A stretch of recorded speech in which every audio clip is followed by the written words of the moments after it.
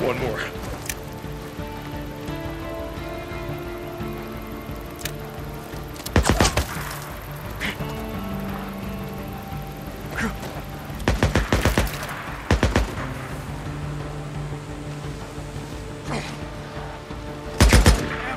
Gotcha.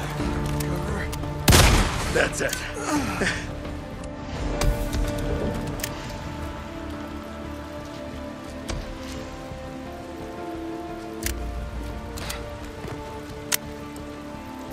Now we just gotta let Ricky know it's done. Uh, Ricky, it's done. I cleared out the camp full of drifters north of Malacqua Lake. Thanks, Deke. I'll let Boozer know.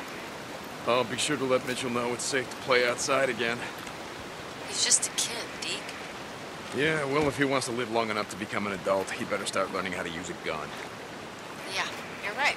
I'll start working with him. Thanks, Deke.